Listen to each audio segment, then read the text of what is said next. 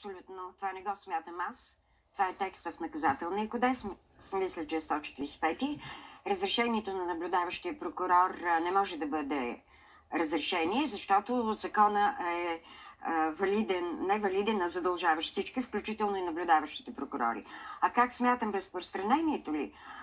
Ами, очевидно, под, под, очевидно разпространението е да бъде дискредитиран президента заради нещо, което няма съдия на този свят, от това публикуваното, да го приеме за а, данни за престъпление. Чували че повече от месец а, всички органи мълчат? а, Абсолютно. Значи, а, една седмица, след като се разшумя, тъй като Да. а, юристи припомниха текста на, на наказателния кодекс, една седмица по-късно главният прокурор даде интервю за неделя 150, но не беше попитан за някои неща.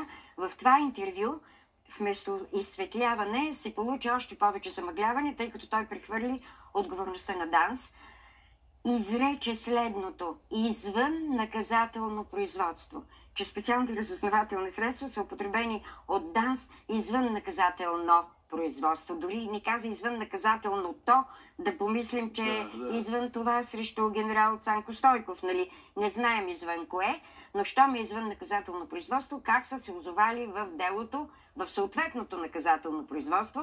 Това никой не го обяснява, никой не поиска от ДАНС обяснение, освен президента, мълчание.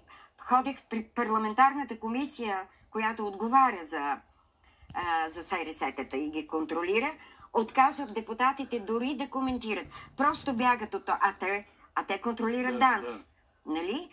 И а, въпросите, които аз лично от името на Дневник Да. съм задала на прокуратурата след интервюто на главния прокурор, са пет въпроса, нямам отговор. А, само а, дублирани до, коми... до бюрото за контрол на СРС, къде е по принуда, къде не, тъй като ако и те замълчаха, ще, ще да бъде страшно, ми отговориха, че са образували проверка. От тогава няма нищо. Тази проверка докъде ще доведе и така нататък. А, просто а, няма нищо и се замълчава. Вече никой не пита.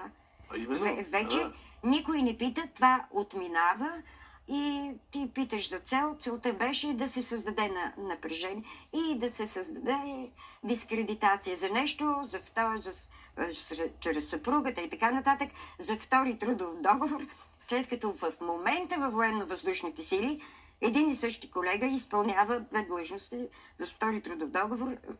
Там няма, има обявен конкурс и няма кандидати за, титул, за изпълнение на длъжността, която е изпълнявала Десислава Генчева.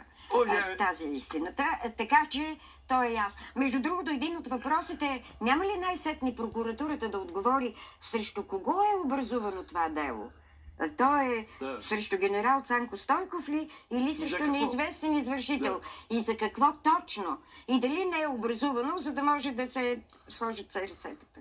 Макар, че те са сложени. Да изловят президент. Да, и, и какво да го изловят? Президента казва, пита за какво става въпрос Ясно. и за какви документи. И освен това не знаем и дали тези СРС-та също не са рязани.